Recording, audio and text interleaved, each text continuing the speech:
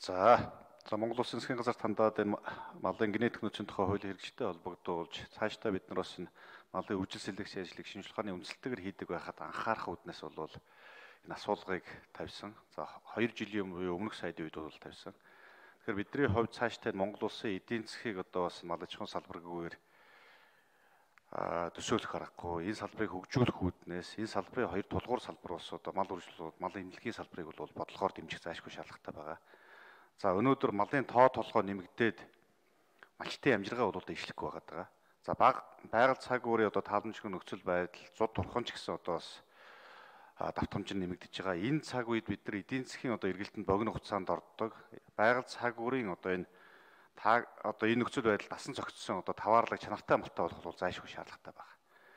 Тэгэхээр бидний хувьд одоо магадгүй өнгөрсөн 20 30 жилийнхаа алдаа оноог бол бас энэ дүгэн цэгэнж цаашдаа одоо бас бодлогын өөрчлөлт болоо шинжилтүүдийг бол хийх шаардлагатай байна гэж бол бас хууны хөвднөөс дүгнж үзэж байгаа.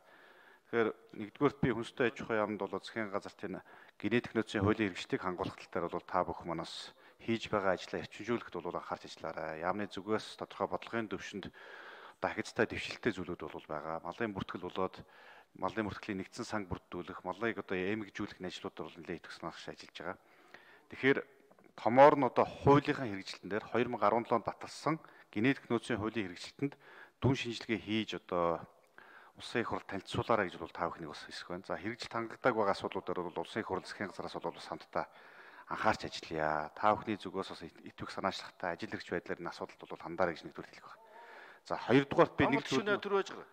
2018 онд батлагдсан хэрэгжиж эхэлсэн генетик нөөцийн тухай хуулиндаа ер нь бүгдөө нэмэлт өөрчлөлтийг оруулуул яасан юм бэ гэсэн энэ саналыг бол төвшүүлж байгаа. Тэгэхээр өнөөдөр үндсэндээ манай манай малын зоотехникч болоод мал зүйч нарын зүгээс төвшүүлж байгаа ажил бол энэ ерөөсөө энэ малын үржил селекцийн ажлын ажил үйлчлэгэнд чинь хөлс нь үнэлэмж нь за түрээсийн хөлсөнч гэдэг юм үнэлэмж доогуур асуудлагдаг ер нь нэмэгдүүлэх тал дээр түрээс анхаарч өгөөч гэдэг асуудыг бол дэвшүүлж байгаа. Энэ дээр одоо бас бодлогын өөрчлөлтийг хийж магадгүй хуулийн төслүүд дээр нэмэлт өөрчлөлтүүдийг бол тусгаж оруулж ирье. За мал үржлийн бие даасан бүтэц бүрэлдэхүүн байгуулагдах нь гэсэн анхаарах хэрэгтэй баг. Цаашид мал зүйч болоо зоотекч нараа болсон хүчнээ мэрэгшүүлэх, босруулахад бол бэлтгэж босруулахад бол бас анхаарах зайлшгүй шаардлага бол байна. За энэ асуудлуудыг бол та бүхэн манаас анхаарч судалж үзэж одоо хуулийн төслийн нэмэлт өөрчлөлтийг магадгүй эрх хаврын чуулганаар өргөн барьж оруулж ирэхийг бол одоос та бүхэнд санал болгож байна. За одоогийн хэрэгжиж байгаа хуулийн хүрээнд бол бидний хувьд бас нэг анхаарах ёстой зүйл маань бол энэ малын үржил селекцийн ажилд бол төрөөс бас нэг бодлогоор дэмжих зайлшгүй шаардлага байгаа. Манай малчид болоод ахмад малчид болоод одоо зоотекшнэрийн хэлдгээр бол эцэг мал сүргийн тал гэж ярьдаг. За үүнтэй адил бид нар ерөөсөө үйлдвэр ухсаа сайтай ашиг шим одоо сайтай үржлийн цөм сүргүүдийг сум бүрт одоо байгуулахад бол мал үржүүлэх технологийн нэгжүүдэд бол тодорхой дэмжлэгүүдийг үзүүлж тодорхой ажил үйлчлэхний ажил үйлчлэхийг сайжруулахад нь бол анхаарч дэмжих бол зайлшгүй шаардлагатай байгаа. За нөгөө талдаа ч гэсэн малчид болоо төр төр засгийн зүгээс энэ мал үржлийн ажлыг ер нь малчтал өөрсдөө хийх ёстой юм шиг эсвэл сайн дурын байдлаар энэ одоо ажил юм шиг байдлаар нь асуудалд бол ханддаг байдлыг бол зайлшгүй өөрчлөх шаардлагатай. Тэгэхээр бид нар нэг талдаа бас энэ нөгөө хэлэхэд ер нь мал үржлийн ажил гэдэг зүйлийг бол малжуулах төсөлтөй баг хольж утгаж бол ойлгож ойлгодог. Тэгэхээр бид нар энэ дээр ч гэсэн цаашдаа хандлагын өөрчлөлтийг төрийн бодлогын төвшинч, малчтын төвшинч бол гарах зайлшгүй шаардлага бол байна гэдгийг бол хэлэх байна.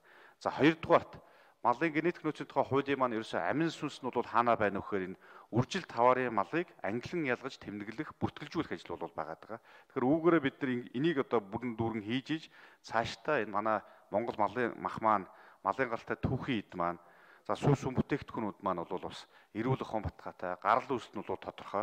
За цаашдаа одоо бид нар экспортод гаргахад бол баталгаатай бүтээгдэхүүн гаргах ийм боломж олцоог бүрдүүлэх, эдийн засгийн өндөр ач холбогдолтой ийм ажил бол байгаа даа. Тэгэхээр энэ дээр одоо бид нар бас англи ялгах за энэ бүртгэлжүүлэх энэ асуудлууд дээр бол онцгой анхаарах хэрэгтэй. Адаглаад одоо бид нар цаашдаа бол малаа одоо жил болгоны 12 сард бол тоолоод авах бол шаардлага байхгүй болно. Хяналтын тоолгыг магадгүй нэг тодорхой хугацаанд бол хийхэд боломжтой болох юм нөхцөл байдал бол бүрднэ гэж бол харж байгаа.